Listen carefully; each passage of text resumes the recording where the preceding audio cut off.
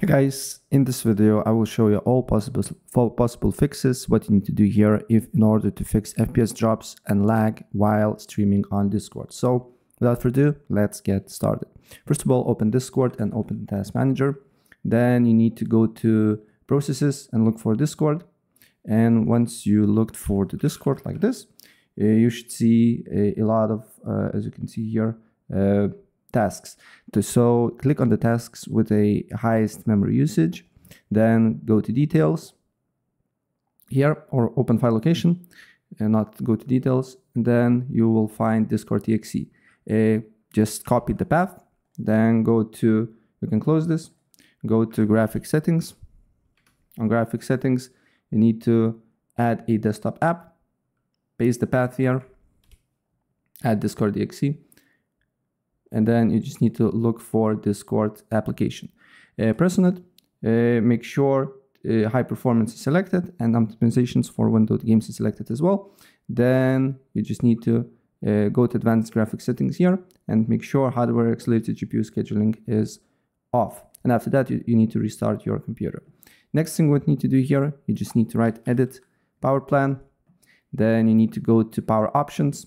Then make sure ultimate performance is selected show additional plans. If ultimate performance not available, select high performance. Then what you need to do here is to open up Discord, press on the gear icon here.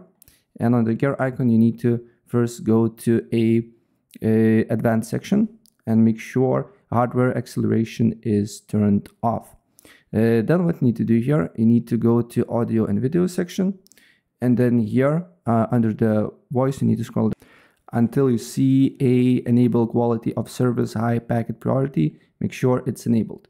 Then go to video section here and then you need to uh, look for a few options as well. So the first one is a open h264 make sure it's disabled and make sure hardware acceleration is disabled as well. Uh, next thing what need to do here uh, if using overlays on discord on uh, steam on uh, other apps, try to disable them because it also uh, should cause a problem. Then what you need to do here is to open up Task Manager and end all the tasks that is CPU and GPU heavy and you don't use while you stream on Discord. So let's say I don't use OBS, I can easily right click on it and end the task. Also, what I suggest to do here is to open startup apps and disable all the start uh, startup apps as well, because when your computer boots up, these apps boots up uh, as well, and it will uh, require a lot of work of your computer resources. Next thing, if you have NVIDIA uh, GPU, you just need to right click on your desktop and then press on the NVIDIA control panel.